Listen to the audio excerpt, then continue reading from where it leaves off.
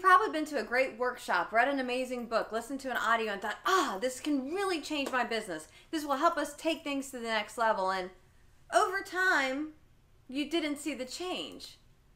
There's, there's a reason for that, and I want to explore that in today's video. Hi, my name is Tiffanie Kellog, and I work with entrepreneurs to help them create more more money, more time, more fun, and hopefully all that will lead to a ma- more amazing business and spectacular life. And I'm here today in my bookshelf room, which I don't know why I call it a bookshelf room and not a library, but it is called the bookshelf room. It's the reason I'm at the house. I'm here in the bookshelf room, uh, right by my Stephen King shelf. Now, it's not my only Stephen King shelf. There's um, more. Oh, it's right here. There's more. Uh, I love Stephen King works though, and the Gunslinger is the first book in his The Dark Tower series, and super excited. In August, it's already on my calendar. The afternoon is booked out. Uh, the Dark Tower movie is coming out, and it's based on the first book, The Gunslinger, and I'm so stoked.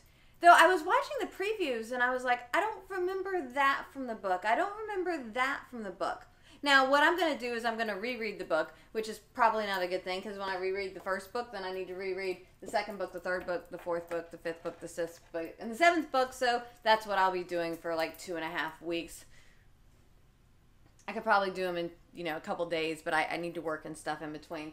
But it'll get me going because here's the thing: it's probably been ten years or so since I uh, read The Gunslinger the last time. Now I've read it several times before that but we forget things.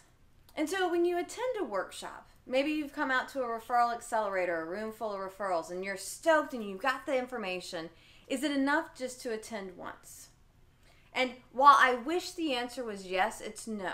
We talk in Asentiv that our we have three core competencies. The second of the core competencies is you want to stay immersed.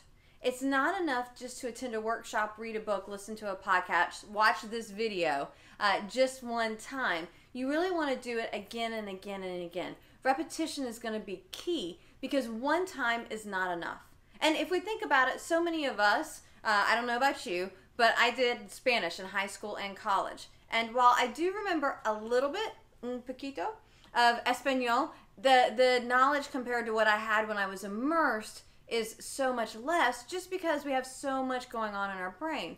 So, if you think about an area in your life that you want to create success, and maybe you're watching this channel because you like creating referral success and you know that's what we're all about, you may need to stay immersed. Whether it's let me read that book again, let me watch that video again, listen to the podcast, attend the program, get involved, do one on one coaching. You want to stay immersed in the information because the more immersed you can be, the more likely you are to implement and create that referral success. So, if you're looking for something to stay immersed in, let me know. I'd be happy to recommend depending on what area, uh, and I can definitely help with those referrals. Otherwise, I hope you have an amazing time. And if you haven't read it yet, I recommend The Gunslinger by Stephen King. Thanks, all.